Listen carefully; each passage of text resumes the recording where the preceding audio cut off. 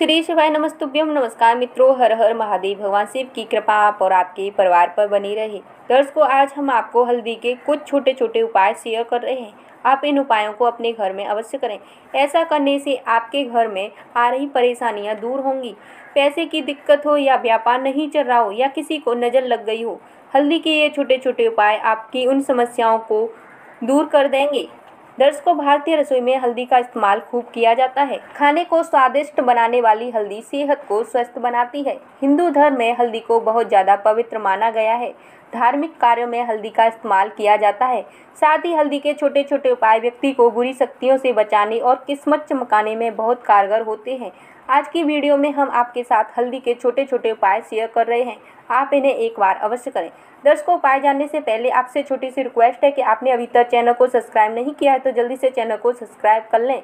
Video को like और share कर दें।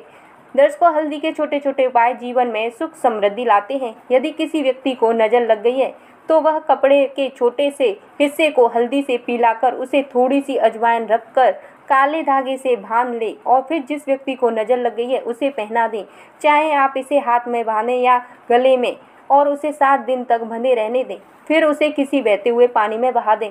ऐसा करने से व्यक्ति की नज़र दोष दूर होती है। यदि आपके घर में पैसा नहीं रुक रहा है, बहुत मेहनत के बाद धन इकट्ठा नहीं कर पा रहे हैं तो आप बुधवार के दिन भगवान गणेश को हल्दी की गांठ की माला अर्पित करें। ऐसा करने से माँ लक्ष्मी की कृपा आपको मिलेगी और आपके घर में पैसा रुकना प्रारंभ हो जाएगा। यदि आपके घर में लक्ष्मी माँ नहीं आ रही हैं पैसा आने से पहले चला जाता है तो आप अपनी तिजोरी में हल्दी की गांठ को लाल कपड़े में बाँध कर रख लें। जब आप प्रतिदिन पूजा करें तब आप उस गांठ लगे कपड़े को तिजोरी में ही धूप बत्ती दिखाएँ। ऐसा करने से देवी लक्ष्मी प्रसन्न होती हैं और आपके भंडार भर देती हैं। यदि आपका धन कहीं अटका पड़ा है या आपका पैसा डूब गया है या कोई आपसे उधार लेकर वापस नहीं दे रहा है तो आप हल्दी से रंगे चावलों को पीले कपड़े में मौली से बाँध पूजा स्थल में पूजा करते वक्त रखें पूजा समाप्त होने के बाद उसे अपने पर्स में रख लें। ऐसा करने से आपका अटका हुआ धन वापस आ जाएगा। जो भी आपका पैसा लेकर चला गया है, वह आपको पैसा वापस दे देगा। साथ ही आपका डूबा हुआ पैसा भी जल्द वापस आ जाएगा। दोस्तों, आज ये हल्दी के उपाय आप लोगों को अच्छे लगे होंगे। अच्छे लगे तो वीडियो को लाइक करना, शेयर करना। चैनल पर पहली बार आए हैं तो चैनल को सब्सक्राइब अवश्य करना।